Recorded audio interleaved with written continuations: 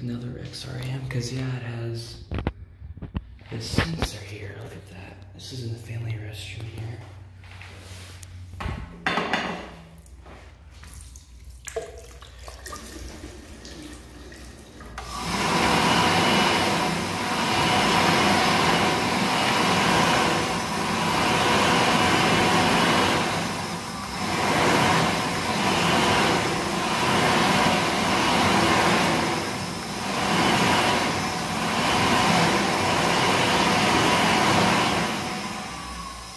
Finicky sensors.